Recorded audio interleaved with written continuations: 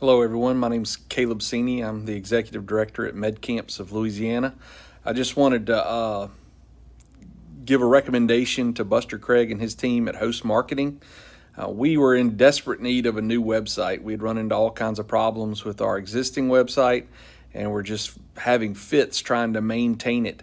Uh, we called on Buster. He gave us a very reasonable quote, and then in a very timely manner, took all of our input and created a beautiful website at medcamps.org.